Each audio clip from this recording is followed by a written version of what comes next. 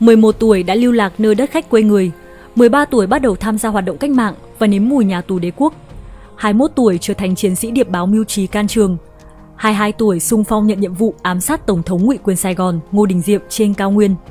Cuộc đời lận đận mà oai hùng của cậu bé Phan Văn Điền đã ghi danh lịch sử với công lao dám đương đầu với nguy hiểm, đảm nhận nhiệm vụ ám sát Ngô Đình Diệm, làm nổi sóng chính trường Sài Gòn vào ngày 22 tháng 2 năm 1957. Để tìm hiểu thêm về con người đã góp công làm sụp đổ chế độ Ngô Đình Diệm, mời quý vị và các bạn đến với video hôm nay. Danh tính cậu bé kết liễu số mệnh của Ngô Đình Diệm. Theo cụ trưởng tộc thì tên cúng công của ông là Phan Văn Điền, thế nhưng tên thật của ông có nhiều tài liệu chép khác nhau.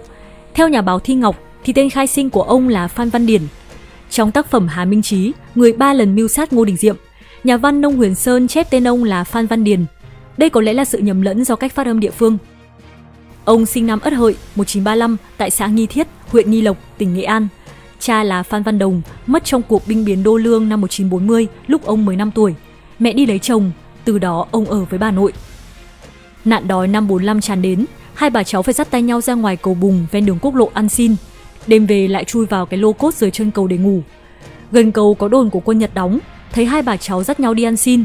Tên đồn trưởng thương hại, hàng ngày gọi cậu bé vào đồn cho ăn và còn cho cả phần cơm mang về cho bà. Khi chơi trong đồn, Điền được đám lính dạy truyền khẩu cho những từ thường dùng hàng ngày bằng tiếng Nhật. Vì vậy sau này cậu mới nói được mấy câu bập bõm. Ít lâu sau, quân Nhật chuyển đi, hai bà cháu lại dắt nhau thất thểu về làng. Làng ở sát biển nên buổi chiều Điền thường cùng đám bạn ra nhặt vỏ ốc về chơi. Một lần đang nô đùa trên bãi biển, Điền thấy một người đàn ông đi dạo qua, đoán là người Nhật nên Điền bu một câu chào tiếng Nhật. Đang đi, ông ta bỗng sững lại vì không ngờ cái làng trái ven biển này lại có cậu bé biết tiếng Nhật. Hôm sau, ông vào làng tìm đến túp nhà tranh lụp sụp nơi bà cháu Điền ở. Biết được hoàn cảnh cậu bé, từ đó ông hay rủ cậu đến chơi ở chỗ ông là khu biệt thự nghỉ mát của Pháp để lại. Xung quanh có lính Nhật canh gác từ phía.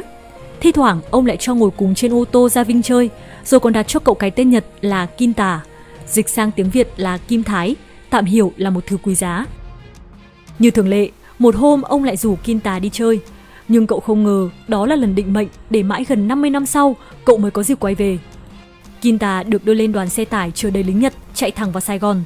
Mãi sau này khi đi hoạt động cách mạng, ông Mười Thương mới biết đó là đoàn xe của đội quân quan đông của Nhật từ Mạn Châu và Trung Quốc qua Việt Nam rồi sang Thái Lan. Trên đường hành quân từ Bắc vào Nam, đội quân quan đông đã bắt theo 7 đứa trẻ khác cũng chạc tuổi ông.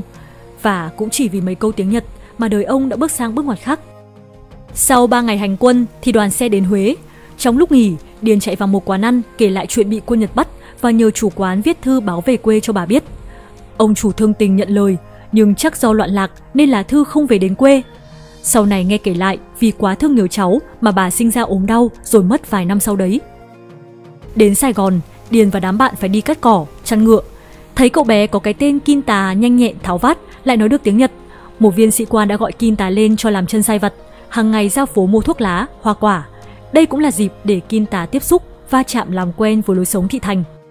Có lần cậu còn theo các anh chị thanh niên tiền phong mang cờ vàng sao đỏ diễu hành qua các phố, miệng hô vang khẩu hiệu Việt Nam độc lập muôn năm. Thời điểm này vào đầu năm 1946, cục diện chính trường thế giới và Đông Dương đang có nhiều biến động. Ở Sài Gòn khoảng 3 tháng thì quân Nhật được lệnh chuyển xuống Vũng Tàu tiếp quản một doanh trại cũ. Lúc này bọn trẻ được thả rông, ăn rồi hàng ngày lang thang ra phố chơi. Một sáng, viên chỉ huy gọi 8 đứa trẻ, đứa lớn nhất 14 tuổi, đứa nhỏ nhất 11 tuổi, đến rồi bảo rằng những ngày tới chúng phải tự lo thân. Quân Nhật ở đây có lệnh phải lên đường về nước nhận nhiệm vụ, bọn trẻ không thể đi theo. Hôm sau, toàn bộ sĩ quan và binh lính Nhật đội ngũ chỉnh tề, hành quân xuống tàu neo đậu ở cảng, bỏ lại doanh trại cùng một số lương thực, thực phẩm, vải vóc cho đám trẻ. Biết không có nơi bấu víu, bọn trẻ lấy những cuộn vải trong kho mang ra phố bán rẻ lấy tiền chia nhau, giữ lại một ít lương thực, còn lại gọi bà con xung quanh đến lấy. Cũng từ đây, tám đứa trẻ tan tác mỗi đứa một ngả, đứa đánh giày, bán báo, đứa làm thuê cho tiệm ăn, đứa phiêu giặt lên Sài Gòn. Không ai biết những ngày tiếp theo, cuộc đời chúng sẽ trôi về đâu. Hồi đó có ông Đinh Văn Trâm là đầu bếp trên tàu Viện Dương, nhưng chán cảnh nay đây mai đó, đành bỏ lên bờ cùng vợ mở hàng ăn ở Vũng Tàu. Một hôm có cậu bé chính là Kim Tà đến cửa hàng rụt rè xin việc. Sau khi hỏi về gia cảnh, ông Trâm nhận cậu làm con nuôi và thay cái tên Kim Tà bằng tên mới là Đinh Văn Phú. Một sáng, Phú đang lùi húi lau bàn ghế thì có khách vào. Ngồi một lát, ông ta bảo, cháu có muốn theo chú làm cách mạng không? Mặc dù lúc đấy chưa biết cách mạng là gì, Nhưng Phú vẫn gật đầu vì đơn giản làm cách mạng sẽ không phải nghe mẹ nuôi mắng và không phải hàng ngày vật lộn với đống bát đĩa. Theo lời dặn, đêm hôm sau, Phú lặng lẽ ôm bọc quần áo rồi trốn khỏi nhà bố mẹ nuôi. Đó là đầu năm 1948 khi cậu vừa tròn 13 tuổi. Điều mà Phú không ngờ tới là gia đình bố mẹ nuôi cũng chính là một cơ sở cách mạng. Về ban quân báo tỉnh Bà Rịa, Phú được đổi tên thành Đinh Dũng. Tháng 8 năm 1948, Đinh Dũng được cử lên Tây Ninh bắt liên lạc với thiếu úy Phạm Ngọc Trần, đồn trưởng quân đội Cao Đài. Đến nơi, Dũng cải trang là trẻ chăn trâu, rồi thành thằng nhỏ giúp việc cho đồn trưởng. Trong đồn, Dũng tranh thủ vẽ sơ đồ, thu thập tin tức hàng ngày báo cho Việt Minh. Được gần 2 tháng thì Dũng và đồn trưởng Phạm Ngọc Trần bất ngờ bị quân đội Cao Đài bắt tạm giam ở Tây Ninh. May nhờ Trung tá Phạm Ngọc Trấn, tư lệnh quân đội Cao Đài miền Tây, anh ruột Phạm Ngọc Trần can thiệp nên mới được thả. Trở về tiếp tục hoạt động đến giữa năm 1953, bị địch theo dõi gắt gao. Đinh Dũng được tổ chức rút ra cứ. Năm 1954, Đinh Dũng không tập kết ra Bắc mà bí mật ở lại hoạt động với tư cách là tín đồ thành viên của lực lượng vũ trang cao đài ly khai. Trong giai đoạn này, Đảng ta chủ động đấu tranh chính trị, tránh bạo lực làm ảnh hưởng đến cuộc tổng tuyển cử. Lợi dụng điều này, Ngô Đình Diệm đã lên máy chém đi khắp miền Nam, thẳng tay khủng bố các cơ sở đảng, tàn sát đẫm máu những người yêu nước. Ngày 20 tháng 10 năm 1956, tại căn cứ ấp dũng Tượng, Gò Dầu, Tây Ninh, đồng chí Lâm Kiếm Xếp, trưởng ban địch tình tỉnh ủy Tây Ninh, được giao nhiệm vụ tổ chức ám sát Ngô Đình Diệm khi lên thăm tòa thánh Tây Ninh để ký thỏa ước bình thân với giáo phái Cao Đài Tây Ninh. Tuy nhiên, do thời gian quá gấp gáp và thiếu thông tin tình báo mang tính chiến lược, nên ban địch tình tỉnh ủy Tây Ninh không thể nắm rõ thời gian đi lại, địa điểm xuất hiện của Ngô Đình Diệm và không thể tổ chức ám sát theo lệnh của trên. Tới Giáng sinh 1956, theo thông lệ của hai năm trước, đúng vào 12 giờ đêm 24 tháng 12, Ngô Đình Diệm đều xuất hiện ở nhà thờ Đức Bà dự lễ mừng Thiên Chúa Giáng sinh. Lần này, cơ quan địch tình của ta có tay trong là một phiên dịch cho cơ quan viện trợ Mỹ, được cho là sẽ có mặt bên cạnh Ngô Đình Diệm và sẵn sàng giúp đỡ thực hiện vụ ám sát, nên chuẩn bị mọi công tác để tiến hành. Đại tá Mười Thương khi ấy dùng tên Hà Minh Chí được chọn làm người nổ phát súng kết liễu Ngô Đình Diệm theo đúng kế hoạch. Đáng tiếc vào phút chót, khi mà Hà Minh Chí tiếp cận sát gia đình Diệm Nhu chỉ 12 mét trong lúc cử hành nghi lễ, thì Ngô Đình Diệm lại không xuất hiện. Ngày hôm sau, báo chí Sài Gòn đưa tin Ngô Đình Diệm đến dự lễ cầu nguyện tại Đức Huệ, Long An thay vì xuất hiện ở nhà thờ Đức Bà như thông lệ trước đó. Cả hai lần thực hiện ám sát hụt này, Hà Minh Chí đều sung phong làm người nổ phát súng kết liễu Ngô Đình Diệm, nhưng đều chưa có duyên gặp được mục tiêu. Đầu tháng 2 năm 1957, báo giới Sài Gòn đưa tin Ngô Đình Diệm sẽ lên cấp băng khánh thành hỗ trợ kinh tế cao nguyên tại Buôn Mê Thuật vào ngày 22 tháng 2 năm 1957. Được tin này, Đình Dũng cùng đồng đội lên ngay Ban Mê Thuật khảo sát thực địa, nắm tình hình. Một thuận lợi là trung đoàn 60 bảo vệ diện vòng ngoài có rất nhiều lính cao đài sáp nhập vào. Chính nhờ những cơ sở này mà Đinh Dũng đã mang được súng vào tận vòng trong. Sau khi kế hoạch ám sát Ngô Đình Diệm được tổ chức thông qua, ngày 21 tháng 2 năm 1957, Đinh Dũng đã có mặt trên cao nguyên với tấm giấy thông hành mang tên Hà Minh Chí thương gia Tây Ninh cùng vợ lên dự hội trợ. Sáng ngày 22 tháng 2, lượng người đổ về hội trợ 30 thuật khá đông. Lường trước lành ít giữ nhiều, Hà Minh Chí đưa vợ ra xe về Sài Gòn trước.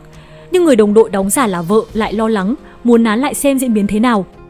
Kiên quyết đưa vợ lên xe, Hà Minh Chí nói rằng khi vụ việc xảy ra, toàn bộ các tuyến đường sẽ bị phong tỏa kiểm soát, rất nguy hiểm. Người phụ nữ, người đồng đội bước lên xe, mắt rơm rớm nhìn Hà Minh Chí vì chị hiểu có thể sẽ không bao giờ được gặp anh nữa. Đúng 9 giờ khai mạc hội trợ, Ngô Đình Diệm tiến vào lễ đài trong sự bảo vệ dày đặc của mật thám, quân cảnh. Trong bộ quần áo cải trang, Hà Minh Chí cũng tiến sát hàng rào bảo vệ, cách Ngô Đình Diệm chưa đầy 20 mét. Khi tiếng hô chào cờ vang lên, Hà Minh Chí lấy khẩu MAT-49 cơ nòng luồn qua nách tên quân cảnh cao to đứng trước, nhằm Ngô Đình Diệm nhả đạn. Do bất ngờ khi nghe tiếng súng nên tất cả sững lại, tiếp tục bóp cò nhưng súng bị tắc. Hà Minh Chí chỉ kịp thấy một tên đứng cạnh Diệm gục xuống và sau đó hàng chục tên quân cảnh lao vào để ập xuống ông. Nói thêm về súng tiểu liên MAT-49, khẩu súng mà ông dùng để ám sát Ngô Đình Diệm. Đây là loại tiểu liên cực kỳ nổi tiếng do Pháp sản xuất từ năm 1949 để thay cho khẩu MAS-38 khi đó bị coi là lỗi thời. Khẩu tiểu liên này dùng cỡ đạn 9 x 19 mm, trọng lượng 3,5 kg khi không mang theo hộp tiếp đạn và có tốc độ bắn tối đa vào khoảng 600 viên mỗi phút. Để đảm bảo bí mật khi cất giấu trong người, cũng như có thể tuồn được khẩu tiểu liên này qua con mắt cú vọ của đám mật vụ tổng thống, khẩu MAT-49 của Hà Minh Chí đã được cưa nòng, cưa báng và có chiều dài chỉ còn 30 cm, thuận tiện cho việc cất giấu dưới lớp áo khoác mỏng. Đáng tiếc, do súng không có báng để tì, nòng được cưa bằng tay nên tính kỹ thuật của súng không còn được đảm bảo, dẫn đến việc viên đạn đi chệch mục tiêu ở khoảng cách chỉ vài chục mét, cũng như khiến súng bị hóc chỉ sau hai phát bắn. Sau khi bị bắt, ông bị địch đưa về Sài Gòn thẩm vấn. Tuy nhiên do hoạt động cách mạng rất kín kẽ và giữ vững lời khai trước sau như một, Hà Minh Chí đã khiến địch tin rằng ông ra tay sát hại Ngô Đình Diệm vì lý do xung đột tôn giáo giữa gia đình họ Ngô với đạo Cao Đài, hoàn toàn không liên quan tới cách mạng.